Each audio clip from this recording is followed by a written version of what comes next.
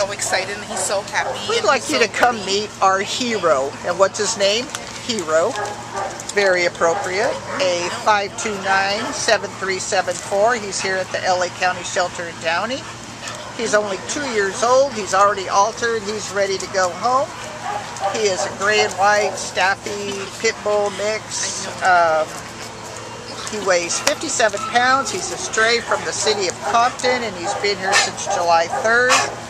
He does excellently in our play groups with the other dogs. He's social. When uh, Janelli went to his kennel to get him out, he sat very politely and said, put my leash on, I know I'm going out. He is just great. He has no problems meeting other dogs. Uh, we're recommending him for middle school age kids and older, which is typical here at the shelter for the bigger dogs. He's got a probably a solid medium energy level.